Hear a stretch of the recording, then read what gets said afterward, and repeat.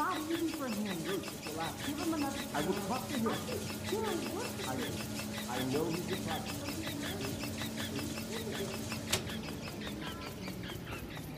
Whoa!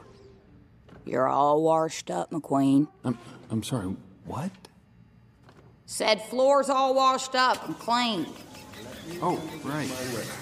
Thank you very much. Uh, good luck. Hey, Lightning! Come on in. Got something to show you. You ready? Ah, for what? Wow. You are about to become the biggest brand in racing. We are talking saturation on all continents for every demographic movie deals, infomercials, product endorsements. Mud flaps? Of course, we'll be rich beyond belief. You think you're famous now?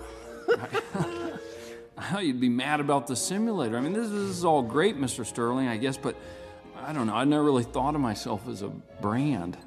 Oh, nor do I. I'm a fan, maybe your most avid. I think of this as your legacy. It, it sounds like something that happens after you're done racing. Mr. Sterling, what is this about? Look, Lightning, I'm not gonna race you. What? What do you mean, not race me? Hold on, hold on. I'm not going to Florida? Lightning, you have no idea how excited I was to get you here because I knew, I knew you'd be back. It was gonna be the comeback story of the year, but your speed and performance just aren't where they need to be. I'm sorry. We're, we're talking about speed on a simulator. Listen how crazy that sounds. Look, I'm trying to help you. As your sponsor, yes, but also as your friend. Your racing days are coming to an end. Every time you lose, you damage yourself. Damage the brand, you mean? Oh, Lightning, come on. You've done the work. Now move on to the next phase and reap the reward. The racing is the reward, not the stuff. I don't want to cash in. I, I want to feel the rush of moving 200 miles an hour, inches from the other guys, pushing myself faster than I thought I could go.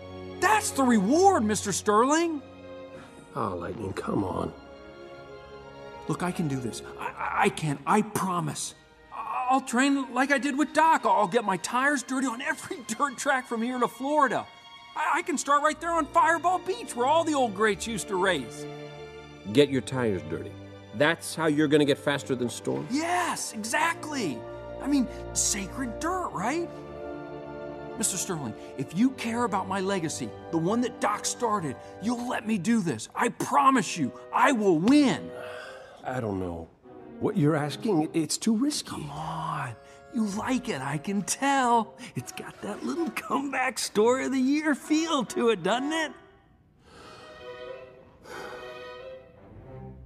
One race. If you don't win at Florida, you'll retire? Look, if I don't win, I'll sell all the mud flaps you got. But if I do win, I decide when I'm done. Deal? Deal. Thank you, Mr. Sterling. You won't be sorry. Just one thing, and this is only because I don't like taking chances. You're taking someone with you.